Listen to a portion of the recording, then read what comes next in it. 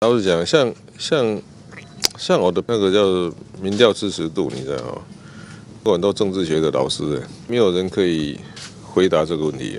市长，你们有没有去检讨？就是说，为什么你的人气始终是无法转移到陈思宇身上？老实讲，像像像我的那个叫民调支持度，你知道吗？已经过了五年，那个那个 pattern 还是没有，从来没有第二个人可以有相同的 pattern 叫模式的，就是那种在年轻人支持度很高，那过了四十五岁就开始下降这一种。可是我想很久，我到讲到讲，我问过很多人呢，问过很多政治学的老师，没有人可以回答这个问题。